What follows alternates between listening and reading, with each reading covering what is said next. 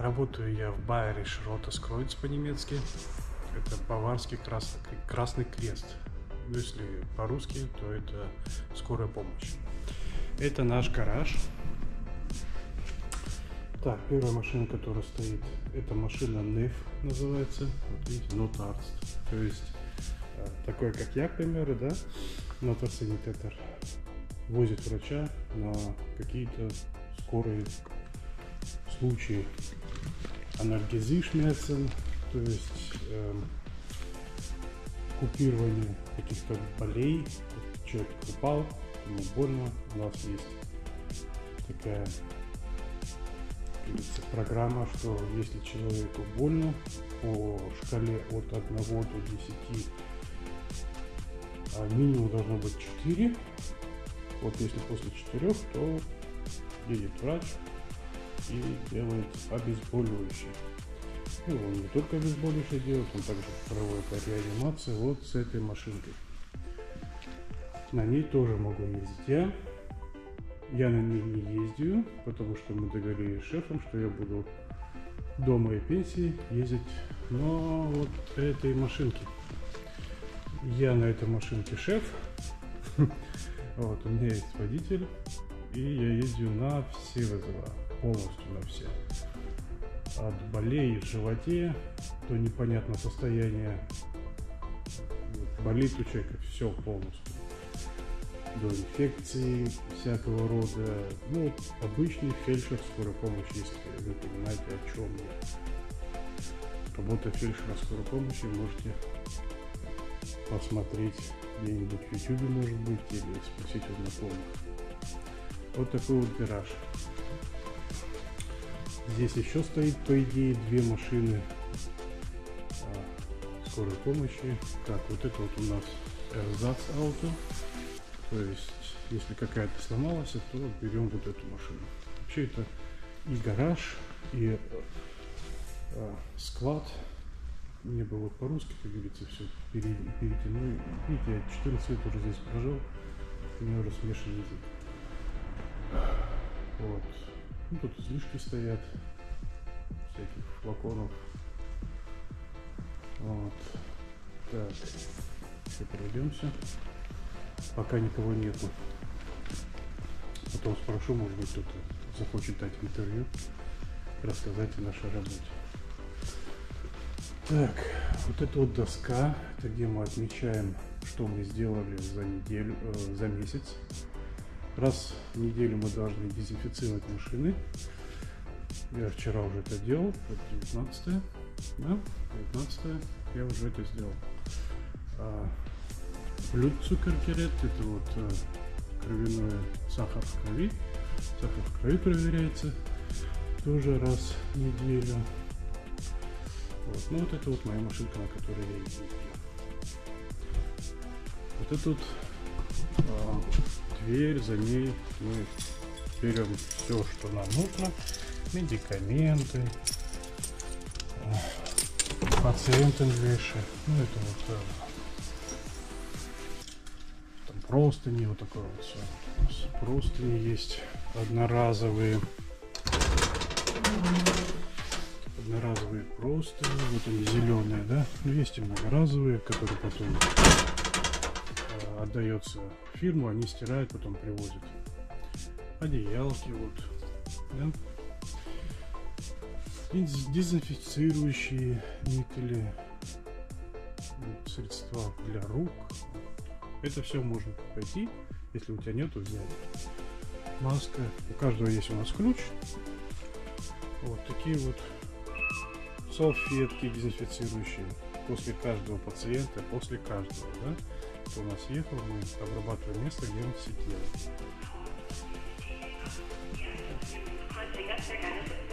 Ну вот уже э, город Фениксберг уже вызвали на вызов. Так, ну вот это вот прибор, который измеряет загазованность в помещении. Вот у меня сейчас на поясе, да, этот прибор. Его надо вставлять сюда, каждый день проверять. И если, к примеру, ты кому-то пошел, он дровами топит, да, как не смешно, но у нас в Германии так, это нормально, топить дровами, особенно старые дома. Он показывает, загазованность есть или нет, очень хорошо спасает, между прочим. Так, ну это документация. Вот. Это холодильник, где у нас хранятся медикаменты, которые требуют холодильник. Мусорки.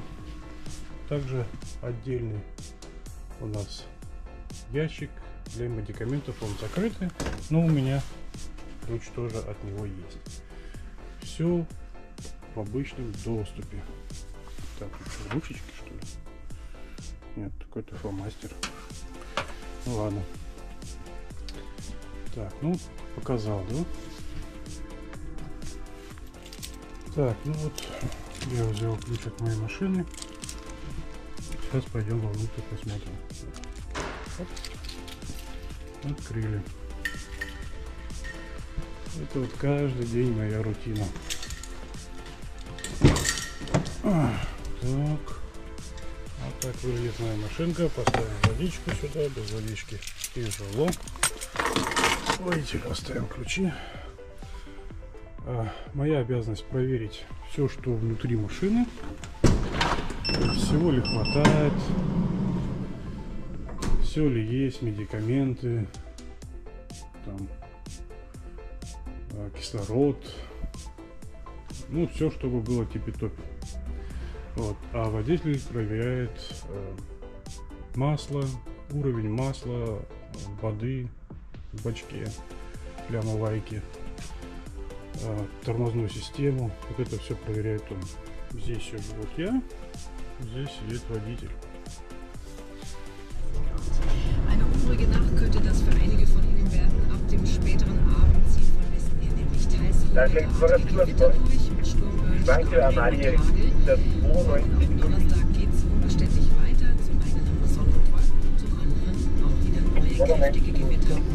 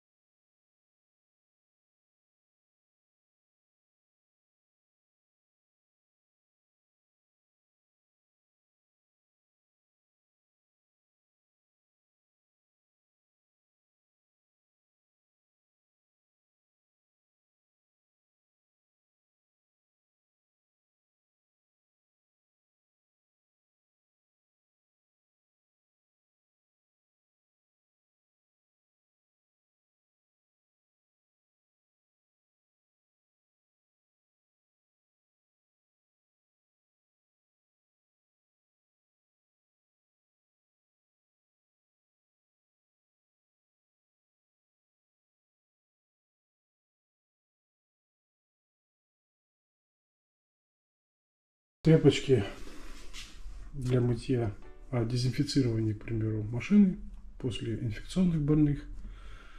Раз в неделю также мы дезинфицируем. Вот. Это обязательно раз в неделю надо дезинфицировать. Вот. А это для пола тряпки. Всегда чистые. Если тряпки грязные, ну, получается как... Так, свет тоже кто-то оставил выключенный. То вот помыли машину, да, и вот сюда вот выбрасываем. Потом санитарка приходит и забирает эти тряпки. Есть также у нас пистолет Керхер.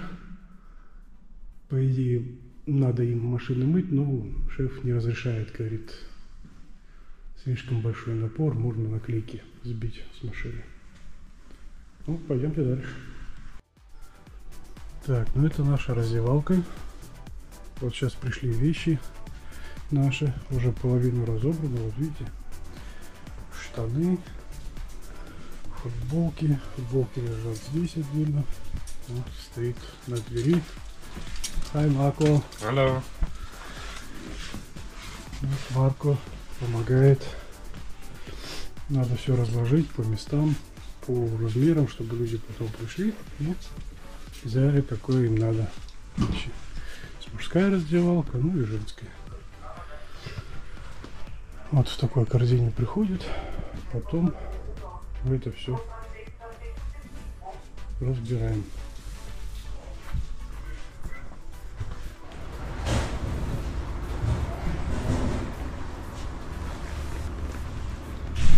Так, ну это наша столовая, где мы кушаем. Когда у нас пауза, сюда приходим, здесь сидим. Стол. У нас есть все. Водичка холодная. Микроволновка, плита, чай, ну все, что надо. Кофемашина. Даже грильница есть.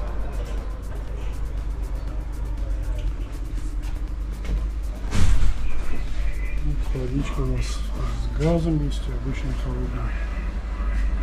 Можно набирать, это все бесплатно.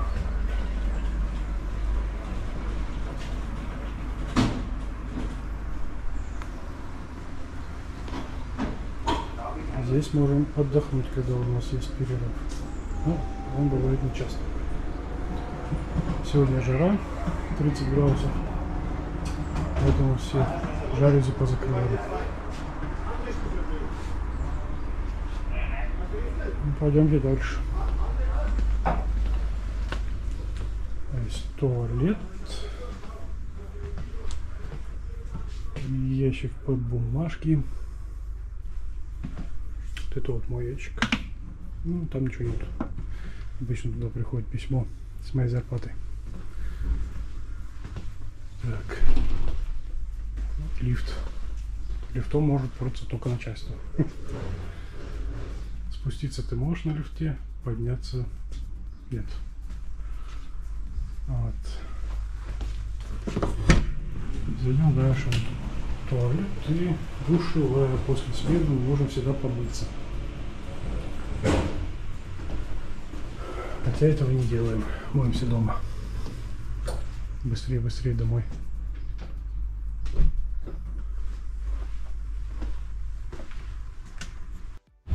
Смотрите, какая хорошая погода сегодня. Жара, правда. Прям весь мокрый. Но вот здесь тут красота. На этих лавочках можем сидеть. Не надо кушать, если погода позволяет. Ну, пойдемте дальше в гараж. Покажу, что внутри машины. Постараюсь, если меня никуда не вызовут. Кстати, вот эти вот машинки, да, вот что здесь стоят. Я потом попробую. У меня знакомая работает как раз на таких машинках. Это, как говорится, кранкенфлеги, они ухаживают за стариками, за инвалидами. Вот ездят на таких машинках на дом. Вот. Если она мне попадется знакомая, я возьму у нее интервью. Пройдемся по территории.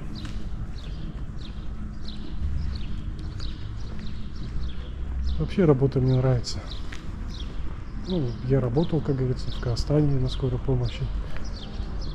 И могу сказать, что здесь идентичная работа, что в Казахстане, что из Германии.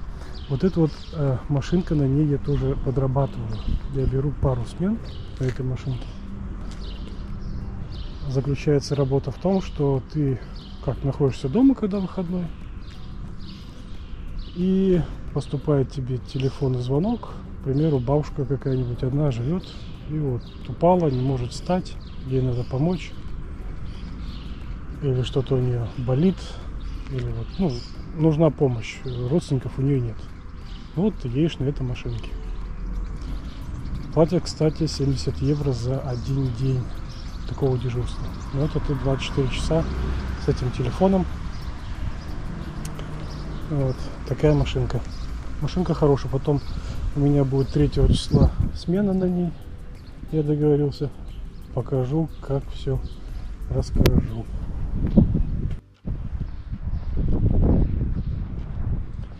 Сейчас идем в гараж. Попробую посмотреть, показать вам мою машину, которой я работаю. Все приборы, что я делаю, как я прихожу. Так что сейчас увидите, посмотрите. Вот это вот машина нашего шефа. Вот это Audi. Я его попросил сделать, дать интервью, но что-то он застеснялся. Ну ладно, пойдемте внутрь.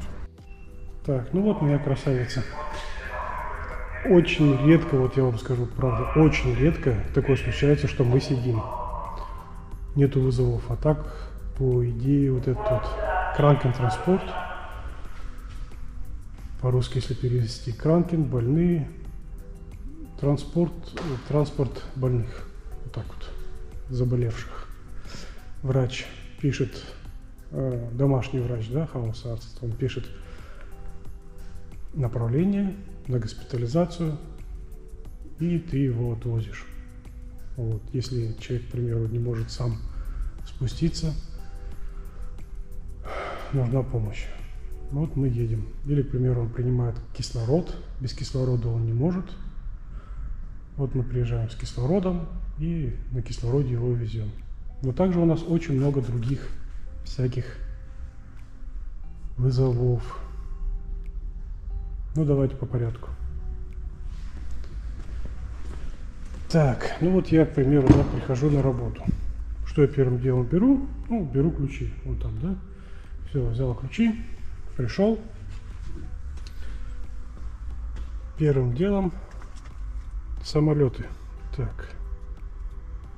Ага. Кто-то звонил? Да, звонил. Но ну, это я сказал своему водителю, чтобы он позвонил. Чтобы я запомнил его телефон. Так. Первым делом я что беру? Я включаю рацию.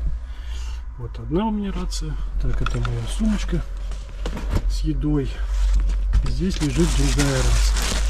Здесь другая рация лежит. Но сейчас, в данный момент, она у меня здесь с собой. Вот я их включаю. Прихожу я где-то за минут 20-30, потому что ну, ты просто не успеешь все проверить. Вот. Дальше. Вот такой вот планшет. Да? Мне вот, честно вам скажу, путаются слова немецкий с русским. Поэтому извините. Ну, вот такой планшет. Так, ну, зайдем в планшет. Вот. Да? Мы его включили. Что у нас здесь есть? Давайте так поставлю. Видно, да? Так, вот здесь у нас есть. Это вот что мы должны сделать. Здесь вот, вот списочек. Если мы это сделали, то нажимаем на ОК. И оно сохранилось и идет дальше в систему. Проверка, как говорится, бешеная. Вот. Здесь вот тоже порталы разные. которые нам помогают при работе. А вот это документация. Вот, к примеру, вы берете какой-то вызов, да? Есть несколько вызовов. Это как срочный вызов, да, там, к примеру, сердце остановилось, или без сознания человек. Ну, ты вот нажимаешь на красную, и там уже несешь протокол. Но я вам покажу на кранкен-транспорте. То есть перевозка больных. Вот сюда заходим. И у нас есть вот такие вот... Ну, меня вызвали. Ну, сейчас послушаем, что там у нас. Transport zum Krankenhaus. Deckendorf, Deckendorf, Blutkreuz, Deckendorf 72, 2 zum Krankentransport. Так, ну эта девушка сказала, диспетчер, да, что у меня транспорт э, Дегендорф, Дегендорф, это вот мой город, что я должен ехать. Вот что вот давайте сейчас на прямом примере покажу. Видите, вот навигатор, и вот мне пришло, вот они, два вот эти вот штучки, пришло, куда я должен ехать. Ну, я потом заблюрю это все потому что это называется дата. Вот это вот куда надо ехать. Значит, у пациента возможно остановка кишечника. Вот. И тут стоит, что он а, пациент у нас раковый. То есть безотлагательный вызов. Ну вот сейчас поедем. И мы когда вот они получили, да, мы нажимаем сюда и вперед. И у нас навигатор сразу рассчитывает время и поездку. Куда и как надо ехать. Ну, сейчас я позвоню своему водителю, и мы поедем. Так, ну привет опять. На улице жара бешеная. Мы уже почти закончили свою смену. Сейчас на часах 15.10. Через 30 минут закончится смена. Что мы должны сделать? Мы должны продезинфицировать нашу машину и помыть ее. Ну вот, мы сполоснули машинку. Теперь она у нас готова к следующему дню. Так, ну вот все, господа товарищи. Теперь выдалось мне время показать вам оборудование моей машины, где я работаю. Так, ну пойдем справа налево, да? Вот этот ящик. Сюда мы ложим одеяло для пациентов. Это дезинфицирующие тряпочки, пропитанные раствором дезинфицирующие. Надо будет уже новую поставить. Вот это вот мы ложим как простыни, они одноразовые идут. Ну, есть у нас многоразовые, есть одноразовые, но я люблю одноразовые, я беру одноразовые. Чтобы выкинул и все. Вот. Ну, так, вот это вот мешок, если инфекционные вещи, к примеру, да, если вот многоразовые простыни, к примеру, или что-то еще, вот мы в этот мешок ложим инфекционный. Потом сверху еще пластиковым мешком. Пластиковый мешок и закрываем. И потом, потом мы это все несем а, вот сюда, вот сюда, вот эту сетку. Все это сгружаем. Приезжает специальная машина, которая забирает для мытья. То есть отдельно неинфекционные вещи просто так кидаем мешок желтый. А если инфекционный, то подписываем вот на пластиковом мешке что это инфекционная вещь. И уже знают люди, что это инфекционная вещь, они ее обрабатывают уже дезинфицирующими средствами. Пошли дальше. Так, ну вот это вот у нас компрессор. Компрессор, которым мы надуваем шины, пумп шины люфтовые, короче, при переломах. Вот они у нас тут, эти вот шины находятся внутри. Вот большая шина, маленькая шина, которая большая на все тело, на ногу, к примеру. Это одеяло. Вот это вот траготюх, который мы носим больных, если куда-то надо нести. Продолжим. Вот это у нас кислородный баллон. Кислородный баллон маленький, кислородный баллон большой там под низом лежит. Пациенты, которые нуждаются в кислороде, подключаются к этому кислороду и так везутся до места. Так, ну это дозатор для того, чтобы руки продезинфицировать. Все понятно. Дальше.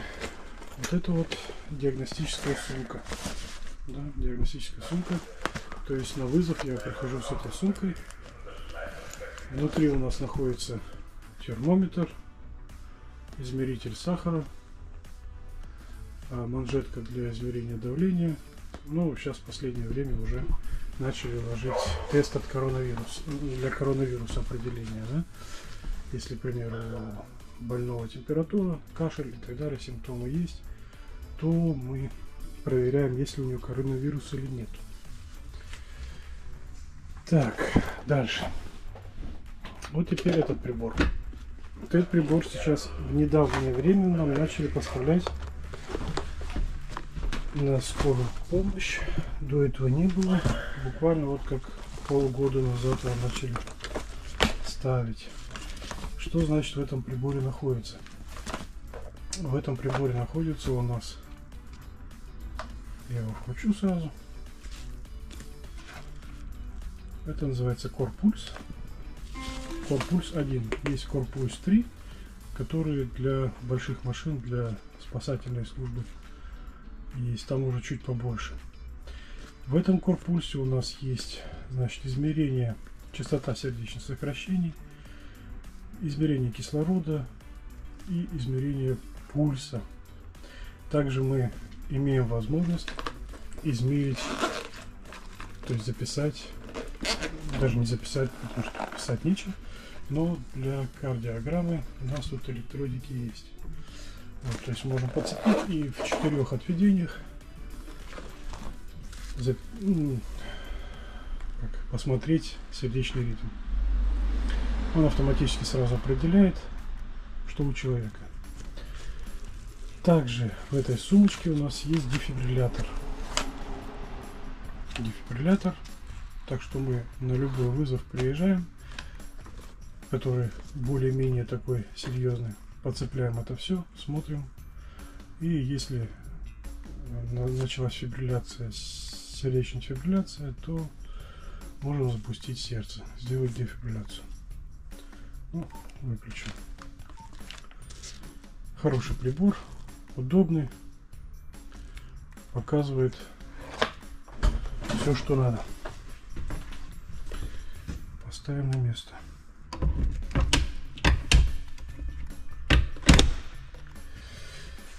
Так, дальше. В этом ящике у нас находятся маски дыхательные для детей, для взрослых, а также маски, также маски с резервуаром. В основном, когда у человека вот это вот с резервуаром пониженная, как говорится, сатурация, если так по-русски сказать, потому что у нас это сеттинг называется, то я предпочитаю маски с резервуаром. Они более лучше доставляют кислород, смешивают кислород э, с воздухом, получается такая смесь и намного лучше работает. Дальше. Это у нас рюкзак. Рюкзак. Мы постоянно его не таскаем, но когда что-то такое серьезное случается, к примеру, как автодорожка, или падение, к примеру, с высоты, или еще что-то, то я беру вот этот рюкзак. Что в этом рюкзаке у нас находится? Ну, давайте по порядку. Ну, также все маски. раствор рингера. Вот. Ну это чтобы чисто подцепить до приезда врача. Обеспечить венну, как говорится. Воздуховоды. Амбушка. Ну, все по-взрослому. Комплект для того, чтобы подключиться к вене. Так что не верьте, если вам говорят, что на скорой помощи даже уколы не могут сделать. Могут. Могут и делают. Так, ну значит, покажу я вам еще одну машину. Она чуть побольше. Называется у нас РТВ. Это Rettungswagen. А, по-немецки, а по-русски, ну, большая скорая помощь, как бы так сказать.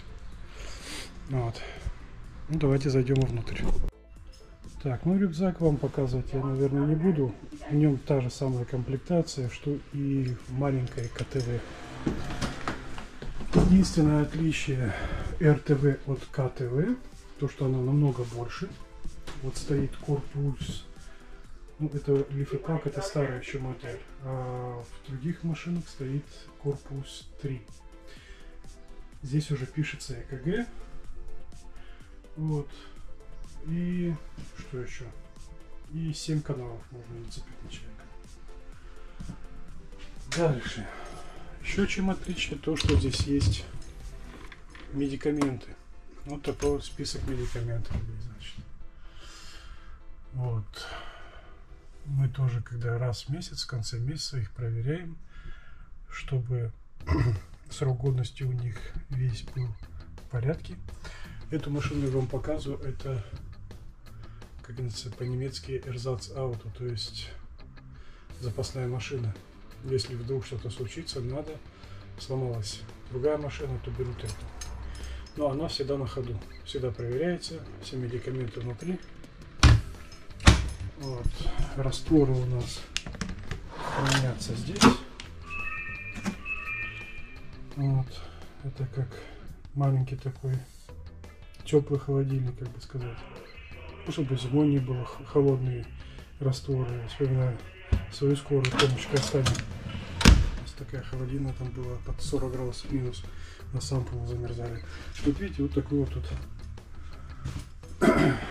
теплый агрегат.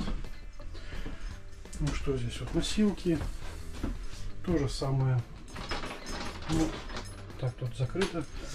Там находятся вакуум пумпы, то есть шины так. Ну, внутри вот немножко, да, покажу. Вот это вот водительская сторона. Вот моя сторона, где я должен сидеть, по идее. Вот, но я на таких машинах не ездил. Не хочу, вот честно. Потому что, во-первых, надо делать С-права. На таких машинах только С-права нужны. А я права сделал, я чуть не обалдел свои. Я отдал сколько, полторы тысячи там на права. И здесь где-то так надо. Ну, сейчас я дом взял в ипотеку, поэтому возможности, возможности нет, да и не хочу, я честно, ездить на таких машинах. Они большие, улицы здесь очень узкие, и как-то мне неохота. Вот. Ну, по сути, рассказал все про машины, про наши, про нашу скорую помощь. Вот.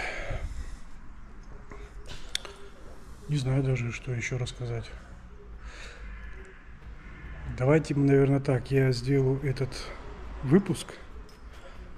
А если кому-то будет интересно, то я дополню его. Кому-то будет интересно про какие-то приборы или еще про что-то. А, как мы работаем, еще какие-то вопросы возникнут, то я сниму с удовольствием. Разрешение у меня есть на съемку, поэтому обращайтесь. С вами был Александр Еременко. Всего хорошего. Берегите себя, не болейте. Пока.